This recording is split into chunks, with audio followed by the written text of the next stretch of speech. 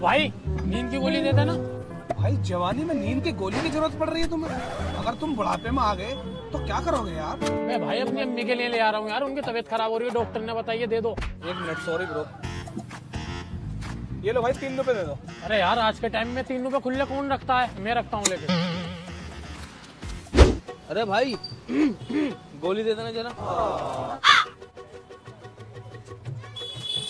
बीस रुपए हो गए भाई। अबे काहे की गोली दे दी तूने मुझे? अरे भाई तुम ही तो मांग रहे उसी की गोली है। अबे का मतलब मेरे गले में खराश हो रही उसकी गोली चाहिए थी। गंदी सोच का आदमी। दूसरी दे। यार इशारे तो हटा ले करो यार कम से कम। से। ये लो पाँच रुपए दे दो। अब इस वाले लिफाफे में क्यों दिए उसमें क्यों ना दिए इसमें दी जाती है प्राइवेसी वाली गोली। और इसमें दी जाती है मर्च वाली गोली। ये पकड़ो भाई मर्च वाली चाहिए थी। प्राइवेसी गोली क्यों मेरी आओ खा लो मेरे कबाब। भरी सर्दी में उतार फेंकोगे लिहाफ मुझे यकीन नहीं आ रहा भाई बिल्कुल भी। भाई बताने ना जरा यार। सही कह रहे हैं यार ये मैं भी कबाब खा के बिना लिया आपके सोया था। हाँ भाई मेरे भी दो लगा दो यार। अच्छे भाई। देखो बात बातों में कबाब भी सीख गए अंदर बैठो लगा रहा हूँ जाओ।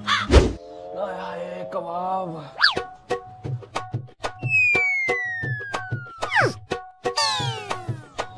आज तो बिना लिहाज के सोऊँगा।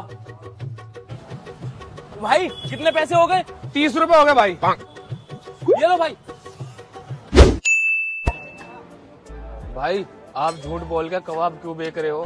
मैंने तुम्हारे यहाँ के कबाब खाए थे और मैं घर जाके बिना लिहाज के सो गया और मैं मर गया भाई।